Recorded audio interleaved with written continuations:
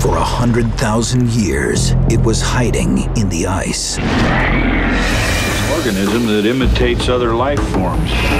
Now, There's something wrong with Blair. it's hiding inside them. So how do we know who's human? Nobody trusts anybody. Now what are we gonna do? You can be one of those things! Kurt Russell Whether we make it or not, we can't let the thing freeze again. in the John Carpenter classic, The Thing. Sunday, April 21st at 8, Pacific on FearNet.